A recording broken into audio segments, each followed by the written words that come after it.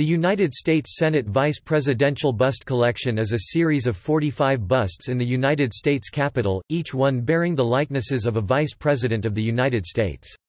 Each sculpture, from John Adams to Dick Cheney, honors the role of the Vice President as both a member of the executive branch and as President of the Senate.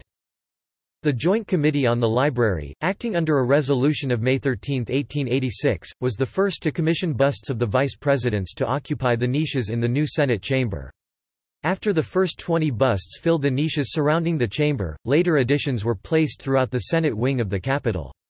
The collection is incomplete, since the busts of former Vice Presidents Al Gore, and Joe Biden, as well as current Vice President Mike Pence are in the process of being created.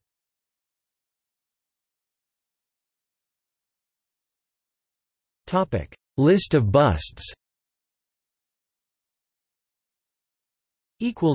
Notes.